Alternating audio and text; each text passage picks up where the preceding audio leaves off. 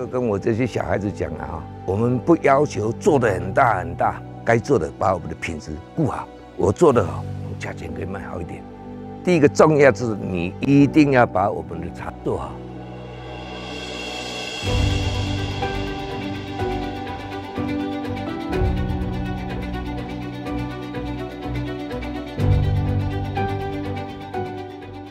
还有呢，我较早我是爱啉茶，无毋对。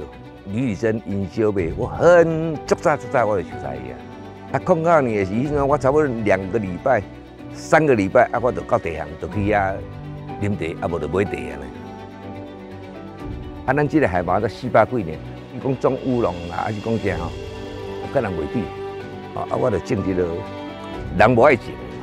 一个佛手茶，台湾现在很少、很少、很少人种，因为它是比较特殊的品种。铁观音也很少，有的人喜欢喝，很喜欢喝铁观音，但是你到外面去买，它不是正宗的铁观音，呃，我这个是正宗。茶都是比较有特色的茶品。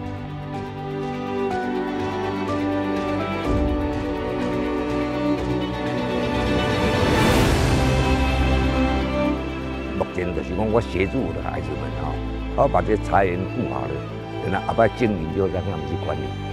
一年有采三次茶，要修剪，什么时候要修剪？啊，什么时候要施肥？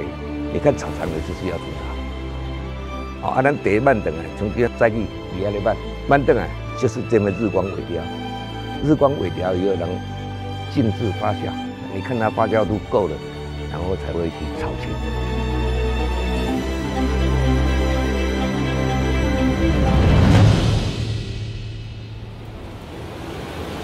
揉点器，再揉一揉，然后就甲级干燥机，干燥以后再回到架上去，让它回软，然后明天早上才会翻走，把它烘干就是半成品，就是毛茶了。